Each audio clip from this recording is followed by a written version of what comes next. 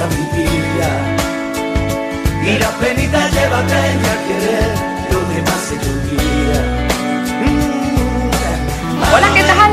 Vengo hoy con un vídeo hecho por mí misma eh, como los que subo a veces, de creatividad, de manualidades. Sé que no son los vídeos más visitados, ni que son, bueno, no, no, son los que más visualizaciones tienen, eso está claro, pero a mí me gusta hacerlo porque es algo que hago yo con mis propias manos, es algo que sé que las personas que los vean, lo, que lo vean, estoy segura que son gente que le encanta la creatividad como a mí. Voy a empezar explicándoos, bueno, pues cómo ha surgido esto. Yo estaba pasando un día en un pueblo de Castellón, en Alcocebre, con unos amigos, Nuria y Miguel, que bueno, nos invitaron a una paella que por cierto estaba buenísima, y bueno, fuimos Luis y yo y pasamos el día con ellos. Nos llevaron por la tarde a ver una, una playa que era preciosa, por, sobre todo pues porque era en plan virgen, no había, no había casi nadie, y era toda de conchas, era lo que era la arena, en vez de ser arena eran como trocitos rotitos de concha y había unas zonas que estaban las conchas enteras. Conchas y caracolas como esta, mirad qué preciosidad. Qué cosas tan bonitas. Encontramos, esta la encontré yo y estoy súper orgullosa porque es de las más chulas. Por cierto, puse una foto en Instagram que me quedó súper guay hecha ahí. Siempre os digo, el B612, si hacéis fotos así que se te enfoque bastante bien, queda muy chulo porque lo demás se desenfoca y queda muy guay. Esta es una de las que, que encontré. Y bueno, un montón más de, conchas, cogimos un bolso lleno y al llegar a casa, bueno, pues las estuve viendo bien y pensé que me apetecía hacer alguna manualidad con ellas y me puse en Pinterest, vi algunas ideas de las que os voy a empezar a mostrar aquí al lado y ahora os enseñaré pues las cosas que he hecho yo. Como os digo, seleccioné todas las, las conchas que quería mm, utilizar, las caracolas, etcétera, y entonces, bueno, pues ya tenía varias ideas de varias cosas que hacer y lo que hicimos, lo primero fue perforar la concha. Bueno, os lo voy a explicar ahora con Luis, que era el encargado de agujerar las conchas. Ahora vais a ver cómo se hacen los agujeros de las conchas para hacer las manualidades, si no es imposible pasar por ahí nada. Eh, necesitamos una cuchara, aquí tenéis una cuchara normal, grande, mejor. Y la concha, cogerla así. Coge, Coge una concha, cariño, a ver, la que quieras. Una de estas, por ejemplo. ¿De esas? Sí. Vale, entonces, el tema es coger, meter el dedo ahí, el dedo gordito, ¿vale? Y luego golpear. ¿Con qué parte de la cuchara se golpea? Con esta. Con esta de aquí. Ahí marcado. Vale, con esta parte de la cuchara. Y hay que un poco más arriba, de, no ahí abajo porque si no se rompe, sino ahí un poco, digamos, en, en, la montaña. En la parte más alta de... Vale, mira. Le vais dando golpecitos así poco a poco, poco a poco. ¡Hala, qué velocidad has pillado! y mirad, enfoca la cámara. ¿Eh? ¿Habéis visto? Es una cosa súper guay. Y ahí te queda el agujerito para poder meter el, lo que queramos para hacer la manualidad. Ya tenemos todas estas con agujeritos, como veis. ¿Veis?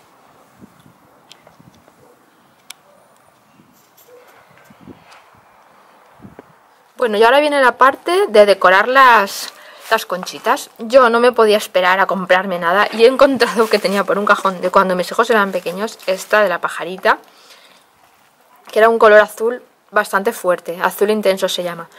Entonces, eh, unas las he pintado directamente del azul intenso y otras he estado poniendo un poquito de, de blanco, también de una pintura blanca que tenía por ahí. He puesto en la tapita y pues bueno, unas las voy dando más oscuras, otras más claras. Y esto es lo que, lo que estoy haciendo, como distintos tonos de azules. Un caracolito también lo he pintado del color azul. El pincel no tenía tampoco ninguno y he encontrado este que está súper viejo pero con este estoy haciendo la decoración. Y bueno, tampoco se trata de que queden perfectas, sino conseguir ese tono así que, que recuerde al mar y que, bueno, que va a quedar chulísima la guirnalda que voy a hacer. Ya veréis, ya veréis cómo os gusta. Con este hilo de color azul lo que hago es ir atándolas a la... ¿Veis? Los voy atando a la cuerdecita. Voy alternando así los colores y las voy atando. La cuerda también es una cuerda que tenía por ahí y lo que le estoy dando también así un brochazo de azul porque me gusta cómo queda así por encima no no hacerlo muy muy bien pero darle algún toquecillo ¿qué pasa? ¿os gusta cómo va quedando o qué? Luego la podéis colgar en un, en un rincón, o la podéis colgar en el jardín, o en la, en la, habitación, en la pared, como queráis. Incluso las he visto que les han puesto dentro una, una lucecita, bueno, queda la mar de mono y es una idea súper chula. Yo he hecho guirnaldas con azules, luego también he hecho con rosa, porque tenía un, una pintura rosa de estas de spray y lo mismo. Es el spray rosa que yo tenía. Cosas que tenía por ahí por casa. Y quería conseguir el verde, ese verde agua, que me encanta. Este verde. Y como no tenía ese color, es lo que compré en el chino. Este color, que me costó creo que 0,70, una cosa así. Y vi que rebajándolo con blanco sí que me iba a quedar el verde agua. Y efectivamente, no me equivoqué, quedó este verde. Y lo mismo, pues para hacer otra guirnalda con colores verdes y otra con colores rosas. Eso es lo que voy a hacer con esto. Y bueno, seguro que queda súper chulo. Otra segunda cosa que se me ocurrió, con un marco de fotos que no tenía foto, pues ponerle una concha, una mmm, caracola, algo pegado. ¿Cómo lo hice? Bueno, pues le quité el cristal y la parte del papel que tienen todos los marcos abajo en este caso, pues le di la vuelta, lo puse, aquí había una foto de estas que siempre hay cuando te compras un barco, la, le di la vuelta y la pinté también con color azul y pegué esta concha. En esta ocasión pegué una concha rosa, pero podía haber pegado una caracola, la verdad es que lo sometí a votación y mi hijo, el amigo de mi hijo y mi amiga Virginia, todos votaron por la concha rosa, pero yo os pondré aquí las diferentes cosas que podía haber pegado. En esta ocasión he puesto esta, pero podéis pegar lo que sea. ¿Cómo lo pegué? Pues lo pegué con silicona. La, la silicona, esta es la que he utilizado, una pistola de estas de, de, silicona, pero bueno, si no tenéis esto no pasa nada, con algún pegamento o silicona de bote da igual. Yo lo hice con, con esta.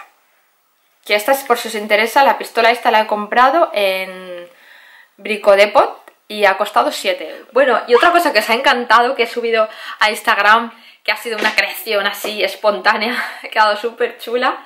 Esto era una decoración que había de primar, que era, bueno, algunas seguro que lo tenéis, estas tres tablitas que aquí ponía amor, love, bueno, ponía varias cosas y estaba colgada en el jardín, se había mojado con la lluvia y estaba bastante deteriorada. Le quité los, los papelitos, que realmente eran unos papeles pegados, lo iba a tirar y digo, anda, justamente lo iba a tirar el día que tenía los contras, digo, pero vamos a ver cómo no se me ha ocurrido antes. Lo pinté lo mismo con la misma pintura que os he explicado antes, pinté cada una así de un tono y bueno, elegí varias conchitas para ir, para ir pegando. Y en la última pues me apetecía poner una frase, entonces pues con unos pincelitos que también compré en el chino, que es la otra cosa que compré, compré estos pinceles, me costaron 0,75, puse ahí esa frase, la mar de bien porque no me cabía nada más, podía haber puesto ahí una parrafada, pero es que no me cabía nada más. Y ahí la he colgado en una ducha que tenemos en el jardín. Que nunca se olvida, cómo olvidarte. Otro par de cosas que, que he hecho, que también lo vi en Pinterest, pues nada, simplemente con las cosas que sobran, que me sobraron mucho, sobre todo caracolas de estas. Entonces, en Pinterest vi en una, dentro de un bote de cristal con una lucecita, yo puse unas de Primar que me costaron un euro y medio me parece y dentro de la, del frasco pues metí la guirnalda esa de luces y puse varias varias conchitas de estas de diferentes colores y ha quedado pues como estáis viendo ahí en la foto súper chulo y luego también me sirvió para arreglar un espejo que tenía aquí en la habitación que estaba roto por la parte de abajo le he pegado también con silicona como vais a ver ahora, unos trocitos de concha. Y esa ha sido todas las manualidades que he hecho. No me digáis que no os han gustado y que han quedado chulísimas. Bueno, antes de despedirme quería mandar un saludo a, a, Candela, que el otro día en Ikea la conocí. Realmente siempre me vienen a saludar, pero en este caso fue al revés. Fui yo y le dije, ¿necesitáis ayuda? ¿Queréis que os explique algo de...? Estaban ahí en la zona de las estanterías y me dijo ella, anda, si yo a ti te conozco. Y bueno, me hizo muchísima ilusión saludarte, Candela. Tienes una familia guapísima y bueno, pues ya tienes aquí una amiga, aparte de YouTube, ahora la tienes también en Ikea. Bueno, pues esto ha sido todo. El vídeo próximo que os voy a hacer va, a tratar de perder dos o tres kilillos, no más. Dos o tres kilillos que es lo que, lo que nos sobra, si es que tampoco nos sobra tanto. Tenemos, bueno, pues ya para la operación bikini que nos hemos puesto, yo lo reconozco, yo soy la primera, últimamente pues me he tirado un poquillo a la Bartola, he comido más de la cuenta y bueno, pues también me cuesta un poquito de perder. Em, con la edad cuesta un poco más. Y bueno, pues se nos ha ocurrido hacer ahí una, una semanita así de depurativa que os voy a contar lo que hemos hecho para, para adelgazarlo. Eso será el próximo vídeo. Nada más, un besazo para todos y nada, a poneros a hacer manualidades. Cuando vayáis a la playa, recoger conchitas, coger arena, meter arena, también queda muy chulo mm, dentro del bote meter arena y luego por ahí sueltas unas cuantas conchas, queda ideal. Nos vemos en el próximo. Hasta luego